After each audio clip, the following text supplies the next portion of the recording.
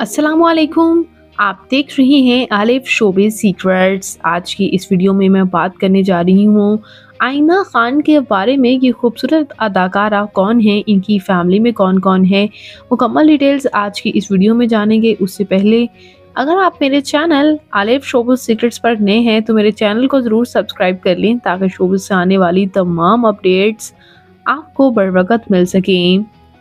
आयना खान पाकिस्तान के शहर कराची से ताल्लुक़ रखती हैं और ये अदाकारा फ़र्स्ट जनवरी 1919 1990 को कराची में ही पैदा हुई। इस वक्त इनकी उम्र 25 साल हो चुकी है। इन्होंने फ़ैशन डिज़ाइनिंग में बैटल्स मुकम्मल करने के बाद एज आ मॉडल शोबस को ज्वाइन किया और सोशल मीडिया इन्फ्लुएंसर के तौर पर भी काम करती रही और उसके बाद एज आ एक्ट्रेसेस पहली बार ड्रामा फेरी टेल में नज़र आईं और ड्रामा फेरी टेल ही इनका पहला ड्रामा था और पहले ड्रामे से ही इन्हें काफ़ी शहरत हासिल हुई। फेरी टेल के सीज़न टू में भी इन्होंने काम किया। सिर्फ़ फेरी टेल से ही इन्होंने शहरत हासिल करते ही ड्रामा दिल पे दस्तक में लीड रोल में इन्होंने एक्टिंग की जहाँ इन्हें बेहद पसंद किया गया। और इन नो डाउट ये अदाकारा जो है, इनकी एक्टिंग ही ऐसी थी कि पहली बार ही, पहले प्रोजेक्ट से ही इन्होंने काफ़ी शोहरत हासिल कर ली।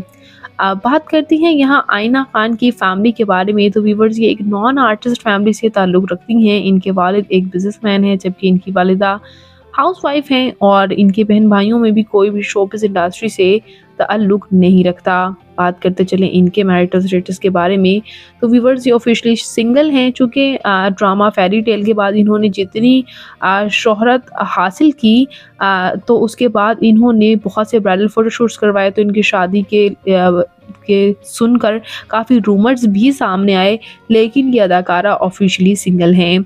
बात कर लेते हैं यहाँ इनकी फ़िज़िकल अपेयरेंस के बारे में तो इनकी हाइट पाँच फुट तीन इंच इनका हेयर और आई कलर ब्राउन इनकी कम्प्लेक्शन फेयर है, इनका फेवरेट कलर ब्लैक इनकी फेवरेट डेस्टिनेशन पाकिस्तान, इनकी हॉबी शॉपिंग करना ट्रैवल करना है।